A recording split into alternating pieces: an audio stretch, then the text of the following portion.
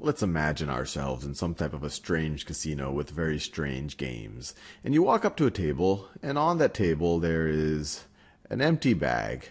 And the guy who runs the table says, Look, I've got some marbles here three green marbles, two orange marbles, and I'm going to stick them in the bag. And he literally sticks them into the empty bag to show you that it's truly three green marbles, three green marbles, and two orange marbles.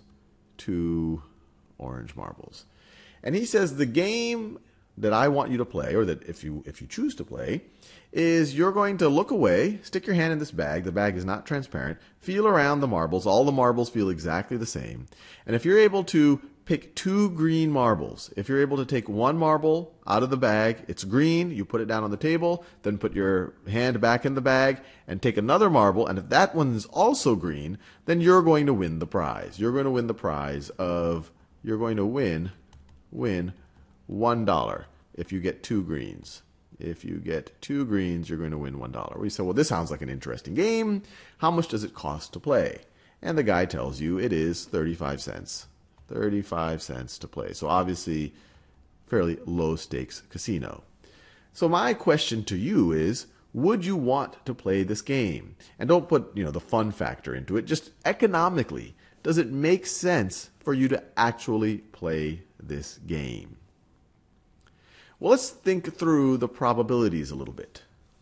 So first of all, what's the probability that the first marble you pick is green? What's the probability that first marble, first marble is green? Actually, let me just write first green. Probability first green.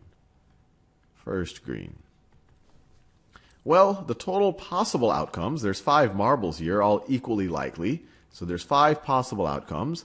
Three of them satisfy your event that the first is green. So there's a three-fifths probability that the first is green. So you have a three-fifths chance, three-fifths probability, I should say, that on that after that first pick, you're kind of still in the game. Now, what's the problem? We, we, what we really care about is your probability of winning the game.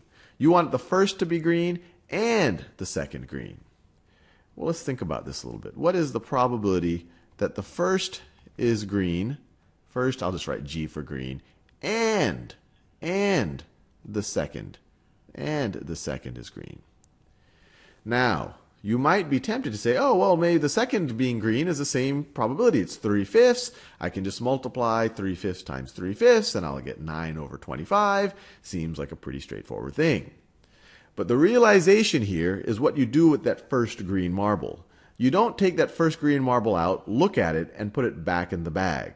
So when that you take that second pick, the number of green marbles that are in the bag depends on what you got on the first pick. Remember, we take the marble out.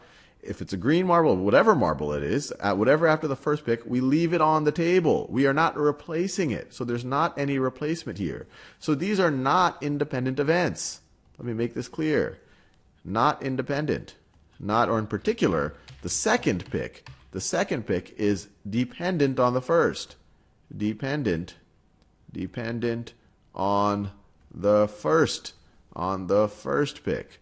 If the first pick is green, then you don't have three green marbles in a bag of five. If the first pick is green, you now have two green marbles in a bag of four. So the way that we would refer to this, the probability of both of these happening, yes, it's definitely equal to the probability of the first green, for the probability of the first green, times, times, now this is kind of the new idea, the probability of the second green, second green, given this little line right over here, just this straight up vertical line just means given. Given. This means given, given that the first was green. Now, what is the probability that the second marble is green given that the first marble was green? Well, we draw, drew the scenario right over here. If the first marble is green, there are four possible outcomes, not five anymore, and two of them satisfy your criteria.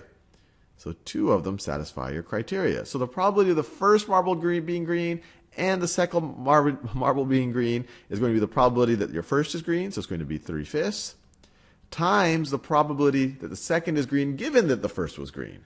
Now you have one less marble in the bag, and we're assuming that the first pick was green, so you only have two, mar- two green marbles left. And so what does this give us for our total probability?